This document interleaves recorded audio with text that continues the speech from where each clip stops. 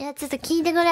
坂本クロエさ、直前まで、紫しおん先輩っていうね、同じホロライブの2期生の先輩の配信を見てて、100万人単位級やっててさ、100万人達成したと同時に泣いちゃった。嬉しかった。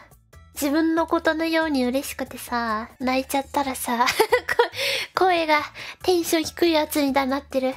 鼻詰まりもすごい嬉しかった。だって、シオン先輩がデビューして、3年と半年ちょっとぐらいなんかな。しかもさ、シオン先輩ってさ、喋れば喋るほどいい子なの、わかるじゃん。なんか、坂本はそのシオン先輩のすごい、繊細かつ性格のいいところがさ、めちゃくちゃ好きなんだけど、嬉しかったよね。初めて大好きって言ったかもとか言ってくれたりさ。いや、マジで、一ファンとしてめっちゃ嬉しかった。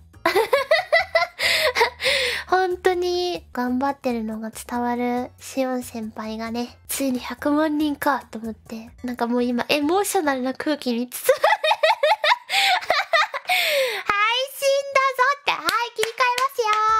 配信ですよ。自分の配信ですよ。